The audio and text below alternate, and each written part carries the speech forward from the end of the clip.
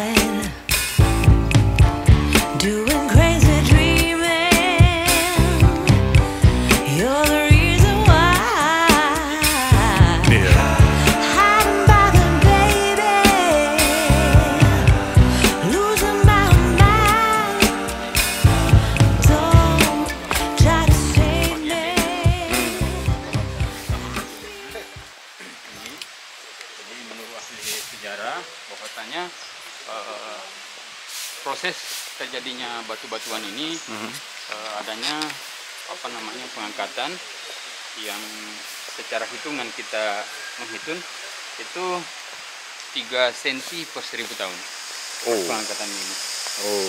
sisi ngangkat pertumbuhannya ya pertumbuhannya begitu hmm. ya, ya. Uh, ada juga yang mengasihkan bahwasanya eh, batu-batuan ini dulunya tertimbun tertimbun tanah hanya terjadi proses pengikisan terkikis terkikis sedikit demi sedikit sehingga muncullah batu-batuan semacam ini Hum.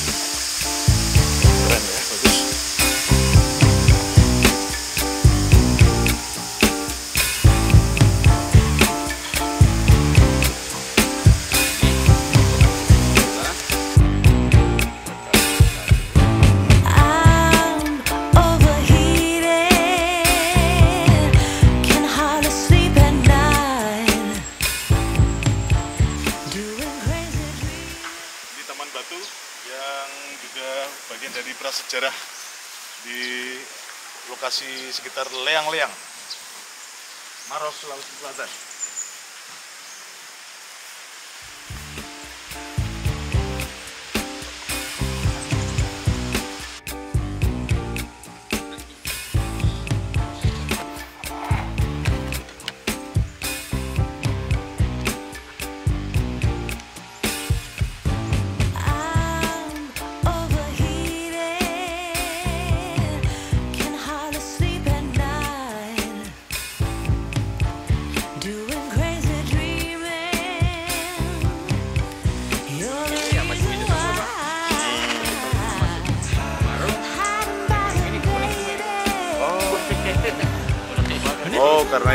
kering ya.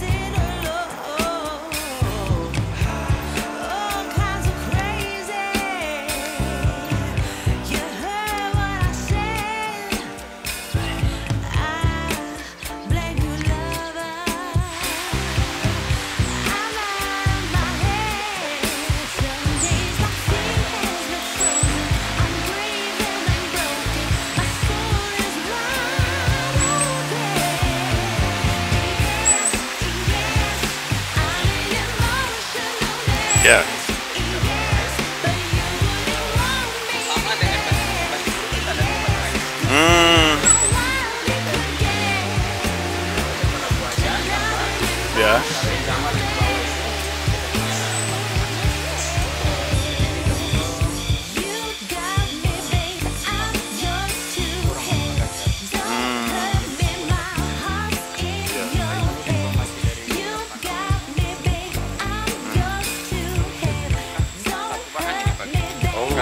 bahan dia pakai iya, hanya kayu ini.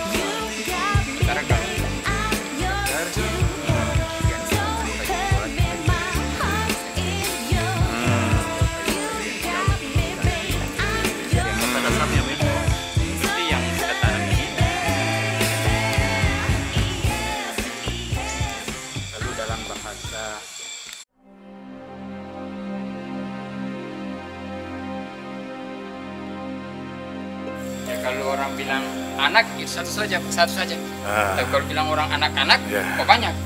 Secara Liang itu bahasanya lubang. liang, ha, ha. Iya.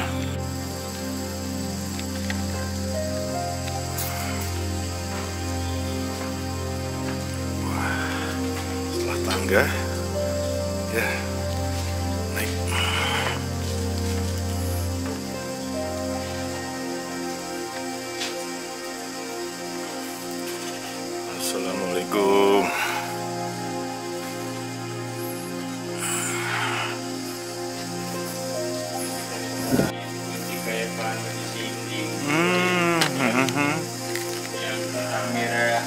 Yang itu ya sebelah sini kepala dan punggungnya dibekukan Pak.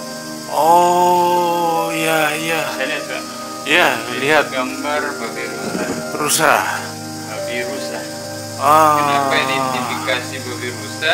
Hmm. Karena menurut informasi peneliti bahwasanya dulu itu babi bertanduk. Hmm.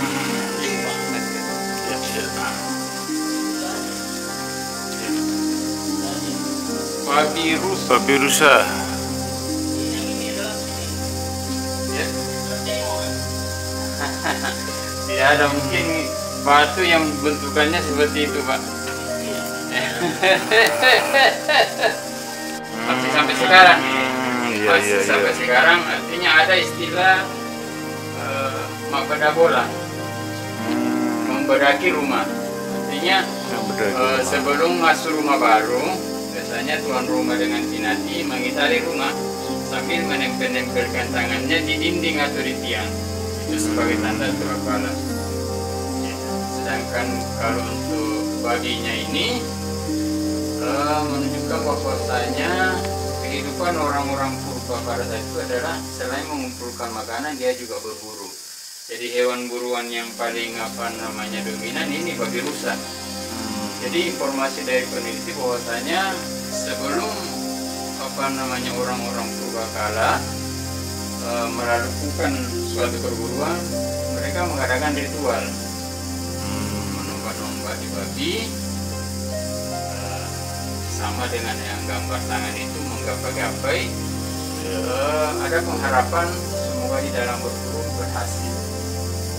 Macam itu jadi artinya kebiasaan-kebiasaan pada saat itu artinya Hmm. mulai dari berburu sampai menjerat sampai menombak Nah, itu yang diambil itu. Nah, sedangkan untuk terong ini eh, kemarin di 2000 akhir 2020 awal 2021 diambil sampai petanggalan itu diambil hasil 45.000 ribu. Hmm. nah padanya semua Wah sayang ya, anak-anak ya. Kenapa? Kemarin waktu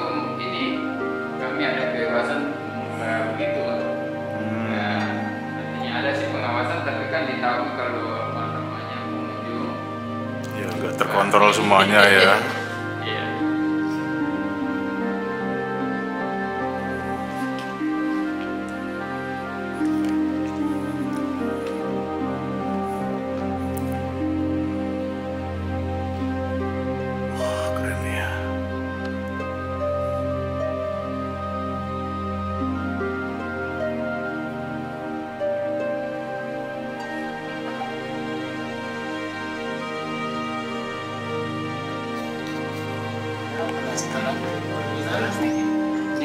ada ada motif dia. Kalau stalastik itu ada motif dia kayak apa namanya cermin-cermin itu. Cermin dari Mana? motifnya kan ada kayak ini Mana? nah ini nih pak. Ini. Oh, oh kan stalastik ini ada motif ya itu patah ya tapi ya. ini patah ya. Ini ratusan tahun mungkin ribuan tahun ya. Iya. Jadi kalau istilahnya nilai sabar ada yang bisa diambil.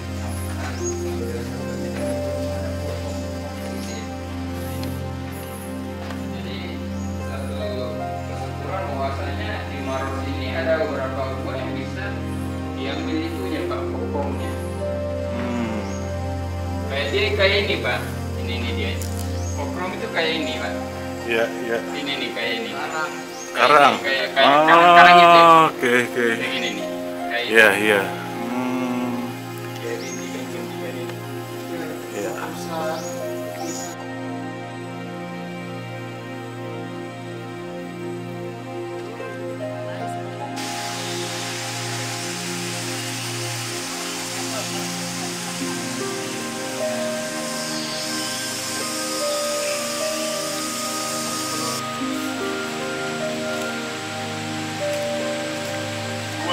Gua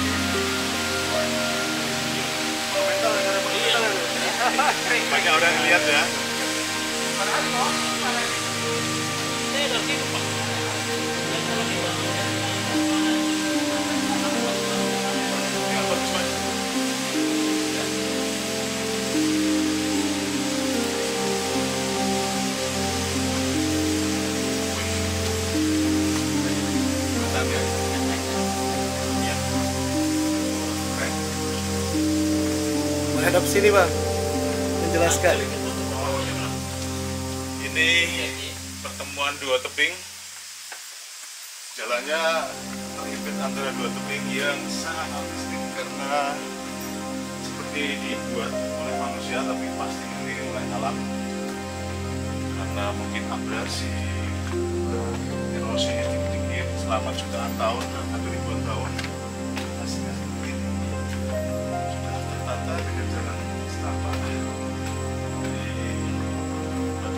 batu-batuan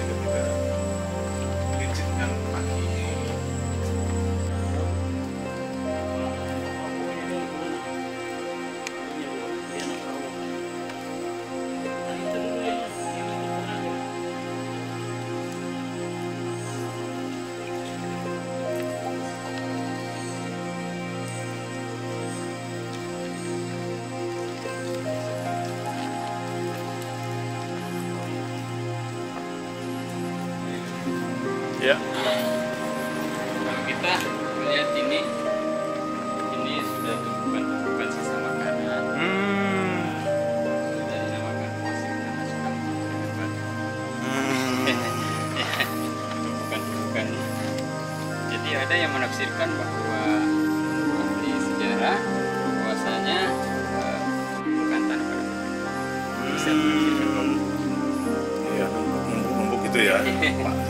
tinggi ya. tinggi.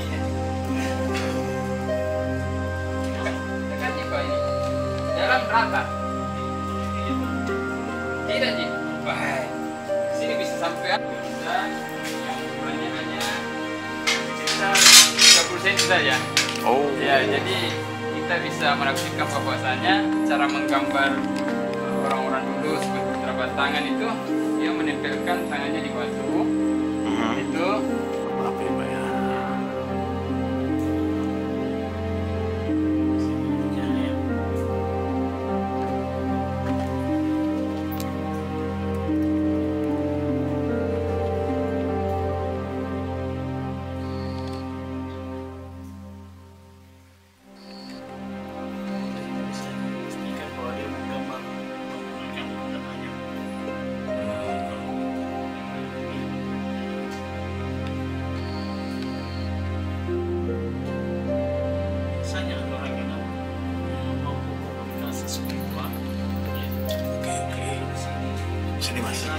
menyampaikan hal itu. iya iya iya Ah, ini, ini yang tangan ini. Ah.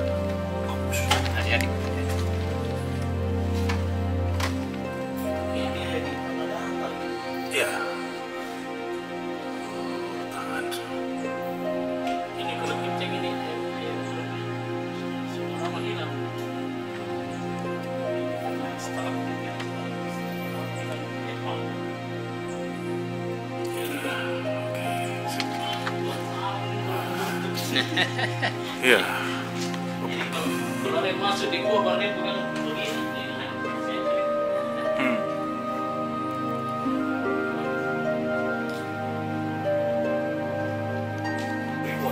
Wishful painting itu mungkin ini semacam doa, ya. Doanya orang-orang, ya orang mungkin kemudian ini animisme apa apa, nggak tahu lah. Tapi itu kan